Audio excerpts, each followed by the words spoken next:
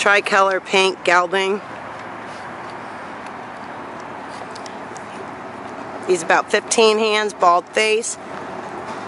He's got, he's a bay paint. He's got real dark contrast colors on white. He's pretty.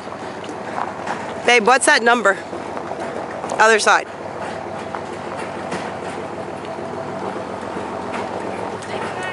Six nine six. Thank you. And he's got a big white splash here, high white socks, and then his left leg has white and then the, the real dark black. It's just really pretty. He's got two blue eyes, eyeliner, a bald face, nice build.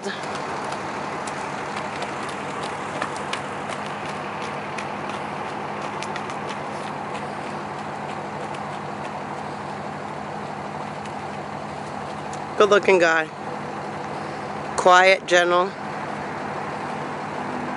Very willing. Love that contrasting color. And the blue eye. He's got two blue eyes. And it's a gelding. Nice stocky build too.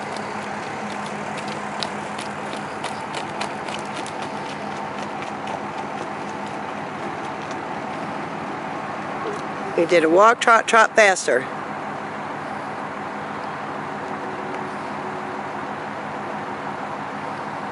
You can see he stopped and stood patiently and he's back into a nice slow walk. Really nice. He's not a hot rod. He's a real sweet, quiet guy. I liked how he stopped and stood for you and then just started off real slow. I mean, he's really nice. He doesn't have shoes on. He's stepping on the stones. Maybe you should take him up in the grass. He just trots faster.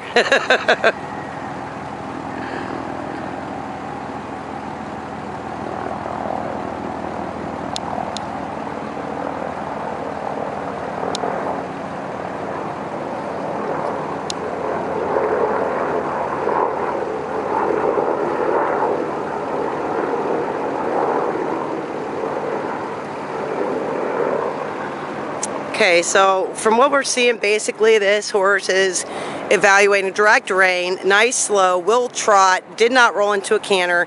You're talking an advanced beginner, low immediate level horse. I never say that a, a beginner can ride them because they really need to see the animal and, and interact with it. But he did a great job. Quiet, gentle, willing. Beautiful paint gelding.